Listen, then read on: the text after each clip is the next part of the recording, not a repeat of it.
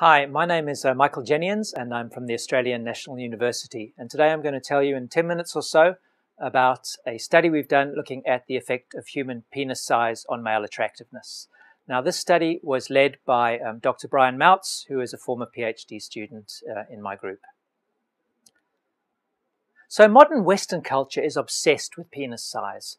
You don't have to go very far to discover this. If you go down to your local newsagent and look at Cosmopolitan, you'll soon discover articles asking, does size matter? Is a larger penis better than a smaller one? And if you um, go to the men's side of things, you'll see an obsession with penis size, which is reflected in jokes and the way males interact with each other, which seems to imply that penis size is um, a highly advantageous character and with a larger penis is better. But there's a little bit of a contradiction between the two. There's emphasis on large penis size and at the same time studies saying maybe penis size doesn't matter. For example, maybe having kind eyes or a good sense of humor is more important. So what is the truth?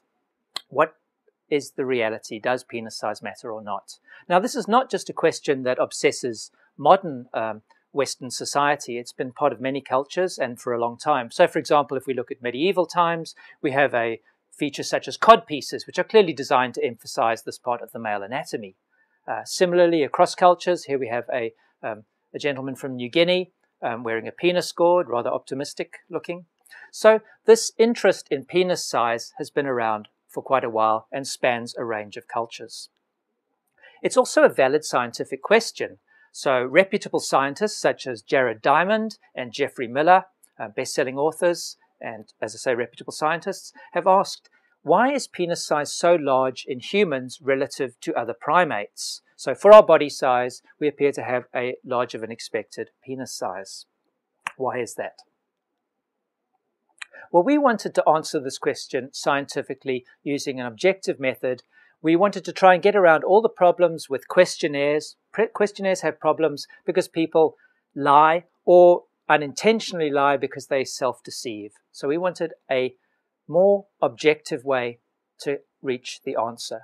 So what Brian, my colleague, did is to create a whole bunch of male humanoid figures, bunch of naked guys, computer animations, and these varied in three parameters. Height, how tall they were, body shape, which was basically the shoulder to hip ratio going from V-shaped to pear-shaped, and crucially in penis size. Now, the range of values we used, these seven values for, for each character, was such that 95% of men in a standard Western sample would fall within this range. So we didn't go to the absolute extremes, but most men are covered by this range. And one thing I want to emphasize to you here is that we know from previous studies that body shape is important. Females generally prefer V-shaped men, broader shouldered, and height matters. Females generally prefer taller men. So that allows us to calibrate and say, well, in that context, how important is penis size? We need some kind of benchmark. Now here you can see the extremes of the figures that were generated. So the figure over there on the far side is the most pear-shaped, the shortest, with the smallest penis. The individual here on the right is the tallest, the most broad-shouldered, narrow-hipped, with the largest penis. So those are the extremes. Now, these figures were presented at life size to the subjects, and in addition, we arranged for them to move like that. And as you can see, that's in a fairly subtle way increases the ability of the subjects to perceive the penis size as the individual moves around. Okay. So how did we collect the data? Well, we asked 105 women to view full life-size video images. We thought it was important they were fully life-size because your response to size properties, whether someone's tall or short, for example, whether a penis is large or small, is quite a visceral response. If you look up, you know someone's tall. If you look down, you know that they're short. And that could give a very different answer than to the more traditional approach of simply asking women to assess figures that are presented on a piece of paper or maybe on a small computer screen. All right. We then asked the women to rank these characters from 1 to 7 for their attractiveness as sexual partners. The women responded very quickly. It, on average, it took them about three seconds to respond to each video they saw. They saw the videos sequentially, one at a time. Three seconds. Now, To give you an analogy, imagine if I, you wanted to buy a house and you were interested in three properties of, of the house. Um, how big it was, how many bedrooms, how much money it cost, and how far it was from the city centre. And I presented you with a whole bunch of houses that varied for these three parameters and gave you three seconds to choose. It would be difficult for you to consciously single out any specific character. But overall, the decision you made as to which house was most desirable would eventually reflect the relative importance you placed on these different characters. And effectively, that's what we've done in this study. We then used what, a standard evolutionary selection analysis to analyze the results. I won't say any more about that except that it's uncontroversial and is used for all kinds of studies of other animals. I'm a biologist myself, I don't usually work on humans, and we use this approach in crickets and fish and many other animals. We wanted to apply it to humans. So, what traits mattered? Well, firstly, we found there was linear or directional selection on body shape. It explained about 80% of the variation in how attractive a figure was. Linear selection simply means that bigger is better. So females preferred a more V-shaped male. That fits with our previous result, with previous studies. That's great. Secondly, height was also a significant, highly significant predictor of attractiveness. Again, that fits with what we've known previously, that taller men are more attractive. Finally, the bit you've been waiting for, I hope, penis size. It also was under linear directional selection. A larger penis was more attractive.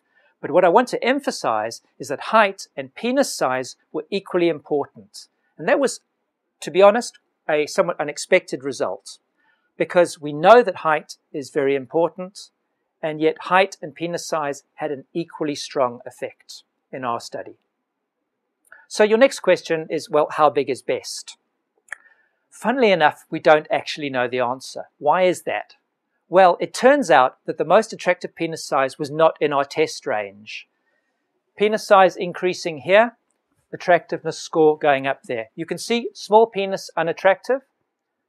Attractiveness increases with penis size and starts to diminish. So there's some sort of nonlinear effect. It starts plateauing out, but we never actually reach the peak because we don't see a decline. We don't see a penis size that's too large that it becomes unattractive.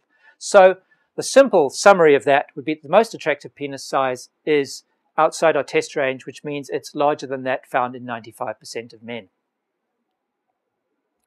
Another little interesting fact is that we found that females took a far shorter time to rank males with a small and large penis. Again, they weren't consciously doing this, it simply happened. Simply put, a small penis females very quickly said no, unattractive, and moved on to the next figure. Now, in this final little bit, I want to simply summarize the relationship between the characters, how interactions between different characters affect each other. And what you have here on the, on the x-axis is the height, short individual, tall individual. On the y-axis, penis size, small penis, large penis. You can think of this map like a contour map that you would use when you go hiking. And it's joining up, lines are joining up values that have the same level of attractiveness. Red is high ground. Red is sexy. So the redder the, the, the coloration at a point, the more attractive. So, for example, here, a very tall individual with a very large penis is the most attractive. Conversely, a short individual with a small penis is the least attractive, blue, unattractive. Now, what I want you to notice here, however, is the interaction between the characters. If you look at a short individual, simply and bluntly put, no matter how much the penis size increased, there was very little change in their attractiveness. They remained blue and crossed fairly few contour lines, as though staying on flat ground, flat, low ground. In contrast, for a tall individual, as penis size increased, they crossed many contour lines, going up a hill, heading to higher ground, more attractive, redder. So, in sum, there's an interaction such that penis size matters more for a tall male than it does for a short male. And we found exactly the same thing when it came to body size, or body shape, should I say. The V shaped, pear shaped has a very similar um, relationship. So, just to summarize what we found, some of our results support previous studies. For example, that taller men are more attractive. Similarly, the broader shoulders and narrow hips are more attractive. That's great. It means that our method that we used works. What about our new results? Well, we showed this diminishing returns on higher values. It's not simply the case that an ever increasing uh, V-shapedness is better. There's clearly diminishing returns, although we don't know where the peaks lie. Also, we showed that traits interact. You can't look at a single trait in isolation. You need to consider the interactions between them, as I just showed you between penis size and height. And finally, and perhaps most importantly, we've been able to answer the age-old question. Penis size does matter, no matter what they say. Thank you for listening. Goodbye.